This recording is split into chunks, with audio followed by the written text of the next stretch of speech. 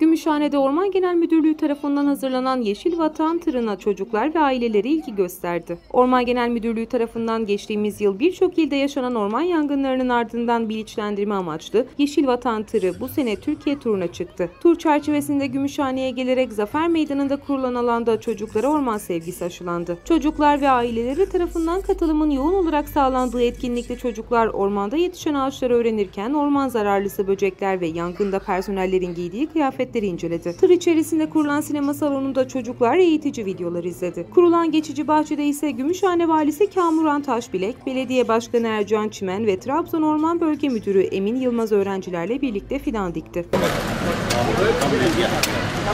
Evet Müdürlüğümüz tarafından hazırlanan Teknotır e, Karadeniz turunda. Amaç burada tabii çocuklara e, özellikle ormanda yapılan faaliyetler hakkında, ormancılık hakkında bilgi vermek, e, ormancılığı, çevreyi, doğa bilincini aşılamak.